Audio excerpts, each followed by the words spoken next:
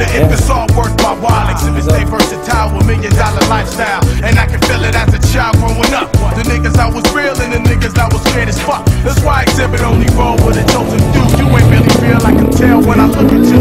So ease off the trigger talk, you ain't killing shit, it's not affecting me. Or the niggas that I'm chilling with, I don't believe the hype or power.